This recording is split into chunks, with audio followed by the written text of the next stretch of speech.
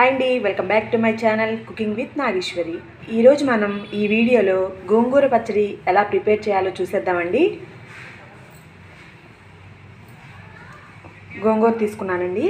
దీనిలోకి కొంచెం పచ్చిమిర్చి ఎక్కువగానే పడుతుందండి ఘాటుగా ఉంటేనే బాగుంటుంది గోంగూర అనేది. కొంచెం పచ్చిమిర్చి యాడ్ చేద్దాం.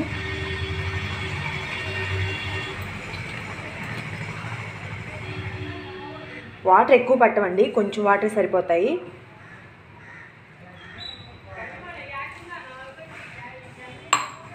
దీన్ని గ్యాస్ స్టవ్ పైన పెట్టుకుని కొంచెం సేపు ఉడికించుకుందామండి.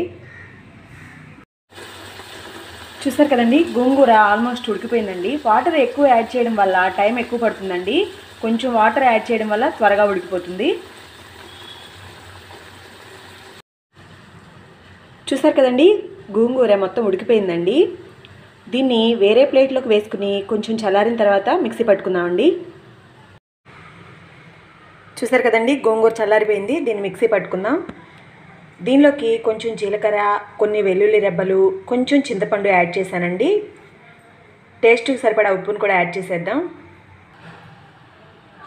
ఉప్పును కూడా యాడ్ చేశానండి గ్రైండ్ చేసుకుందాం. చూసారు కదండి గోంగూర గ్రైండ్ అయిపోయింది.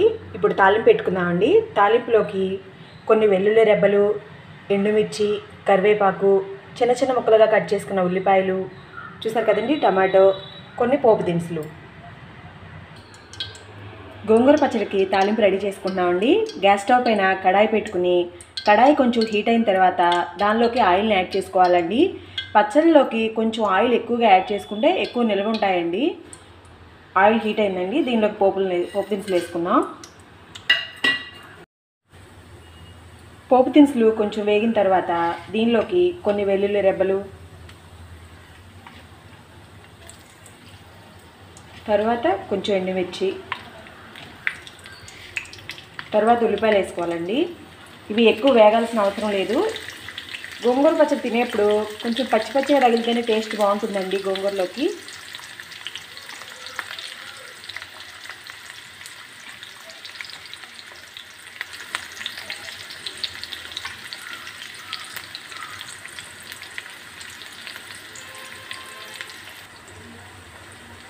ఉల్లిపాయ ముక్కలు కొంచెం వేగినాయి కదండి దీనిలోకి టమాటా ముక్కలు కూడా యాడ్ చేసుకున్నాం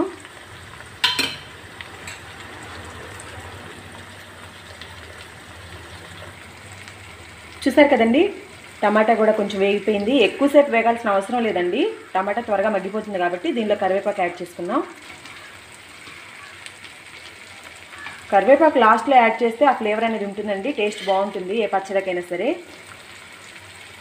తాలింపు రెడీ అయిపోయిందండి. దీనిలో గోంగూరను యాడ్ చేసేద్దాం. చూసారు కదండి గోంగూర పచ్చడి రెడీ అయిపోయింది. ఇది వేడి వేడి రైస్లోకి కొంచెం నెయ్యి వేసుకుని తింటే టమాటా ముక్కలు ఉల్లిపాయ ముక్కలు నోటికి తగులుతుంటే చాలా టేస్ట్గా ఉంటుందండి.